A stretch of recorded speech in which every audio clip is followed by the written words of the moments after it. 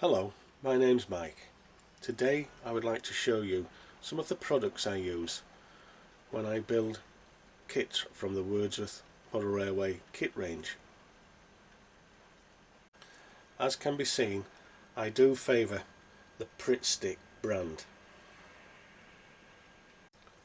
When it comes to assembling the buildings, I find this glue is ideal for applying to the glue flaps and is applied using this lovely spatula. These are very cheap to purchase. These cost just 50 pence for four. Also in the range you'll notice a nail file. This is very useful for taking off uh, rough edges on card. It can also be used for fine tuning the piece just before it's glued into position. A good set of tweezers, very handy in the kit. Very useful for folding small pieces. When it comes to mounting the paper onto the stock card, if it's a full A4 sheet, I prefer these large jumbo sticks. For slightly smaller pieces, go down to the next, and for small pieces, use the little stick. If I'm gluing small section of card, I like to use this. This is a power stick and is very good for gluing card to card and bonds within a couple of seconds. This is a fine tip glue applicator. Basically it contains glue from the larger tube and this allows me to place a nice bead of glue onto the really small items. When I build any of the kits, one or more of these products help to build the kit successfully. Now that you've seen some of the products I use whilst building the kits, today I want to talk about some of the little detail items that will soon end up on our website. Okay, let's talk about future releases. What will you find on the website soon? A few products that I'm working on at present are some street signs. As can be seen, I've already started using some of these on my own layout. Hopefully these will be a great addition to the range. Items on this side of the sheet are custom made so these will be only available if you actually contact us direct and suppliers with names that you would like on. This particular version shows names that I use on my own particular layout. Uh, North Fangor, Wordsworth, South Fangor. Now these items are very easy to make. You just download the PDF file, print them off and cut out the full piece.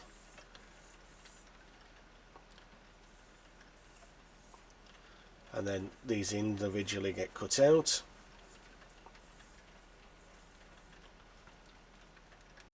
The idea then is you flip each piece over so the printed side is face down, apply some glue to the back and fold each one in half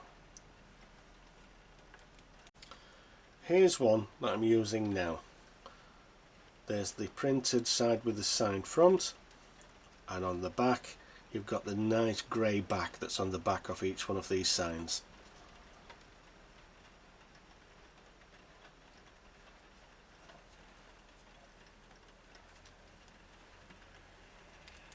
Okay, so you now have your sign, you've got the items cut out. What do they look like?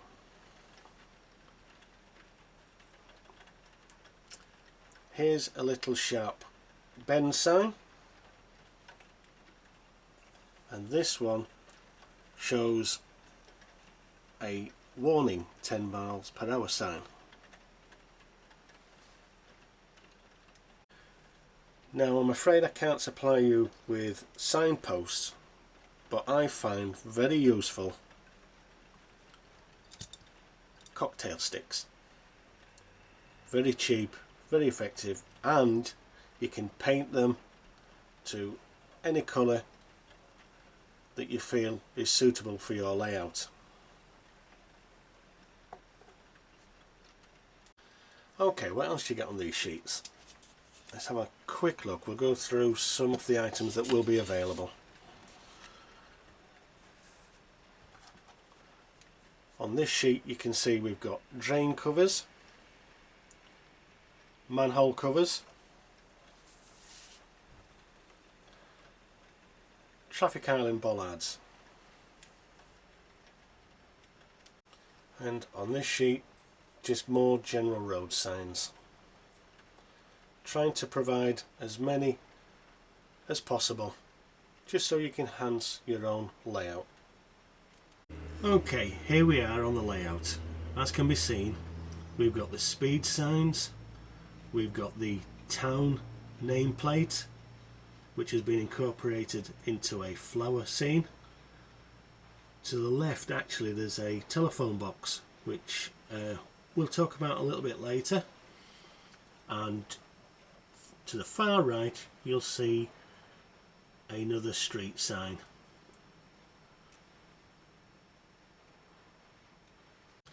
I hope you agree they do look pretty effective.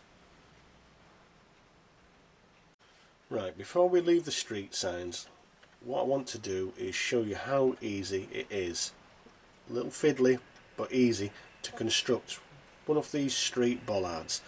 Now I've actually cut these out already. No need to show you how to cut these out. Just take your time and follow the lines. Okay, you've got your piece cut out. What I'll try and do is show you in real time. Hopefully I'll get most of this within the picture. But first thing you need to do is score each one of these fold lines. It's only paper, so you've got to be very careful when you're making your score lines. Okay, here we go.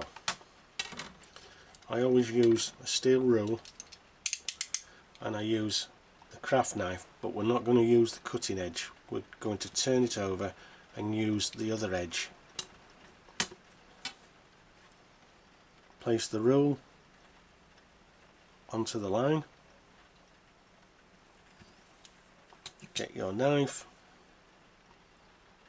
and gently pull it down and it's very gentle you don't want to cut through the card all you're doing is creating a weak point to aid piece of paper to fold.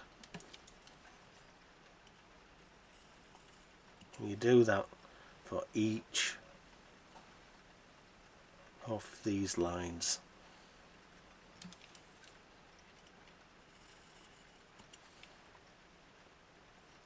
And this one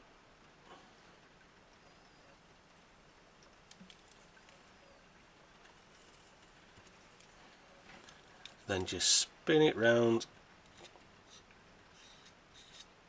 to get the last one.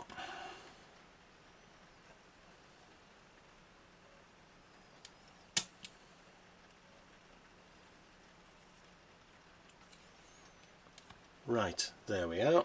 We are ready to do a fold and a dry assembly. Now, this is where the tweezers come in. My fingers are a little bit big for this game. So what we'll do is we'll pick up the piece, as can be seen, a little bit fiddly, but what you want is just fold these sections over down the score lines that you've made. Fold it back out, move on to the next line, fold it over, bring it back, fold the next one over. Bring it back. And the next one. Bring it back. Now these little sections at the top roll it over back. Now the little glue flaps. Keep drifting out of shot, I do apologise for that. Fold it over.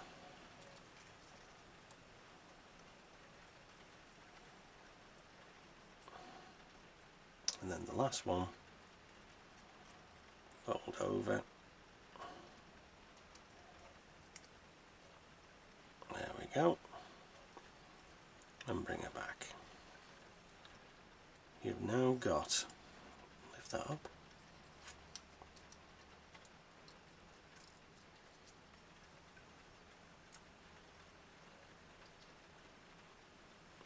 Your basic shape for the traffic bollard.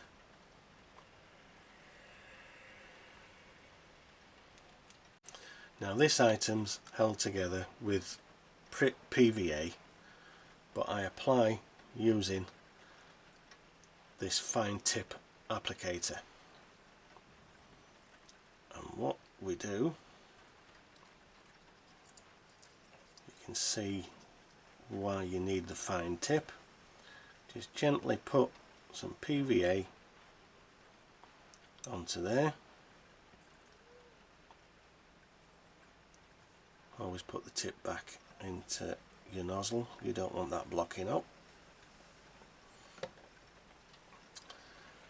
now then the tweezers. We'll try and keep this in shot but what you're trying to do is get that flap under the back section and line it up. And then what you do using your tweezers once you get it there there you go. Just press and hold. Turn around get the other section. There we go. It's a little fiddly. And people with big fingers like myself you certainly need these tweezers.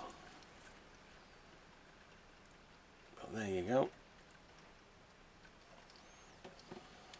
stand her up. Just make sure she's square.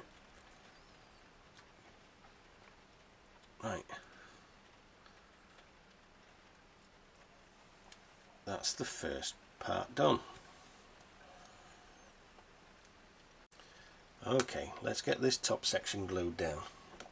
Once again you're going to need the glue.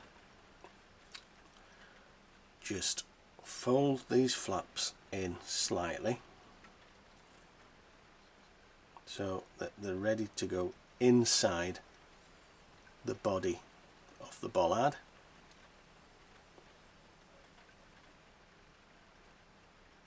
Right okay. Just a little dab there a little dab there. And a little dab on that one. You don't need much. It's only paper.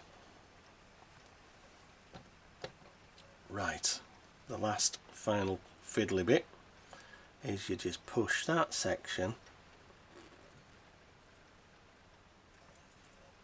into there stand it upright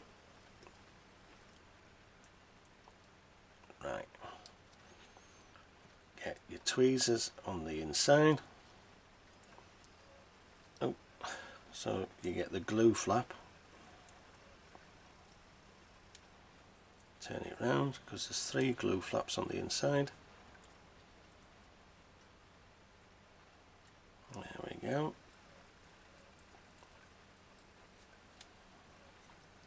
around.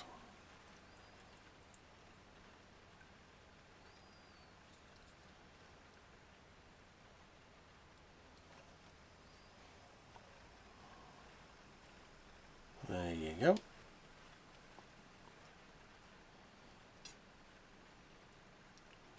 One traffic bollard. Okay, the last thing we have to do is here's the bollard base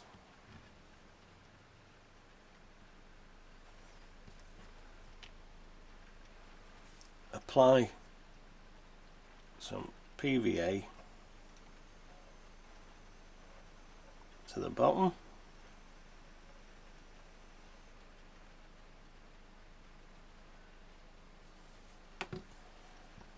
And just square it up on the base. Spin around. Yep she looks square? Little bit of pressure. And there you go. One completed bollard ready for the layout okay I seem to have waffled on a little bit too much and uh, I've run out of time on this uh, session. What we'll do is we'll do this now over a couple of videos. So uh, part two will follow very shortly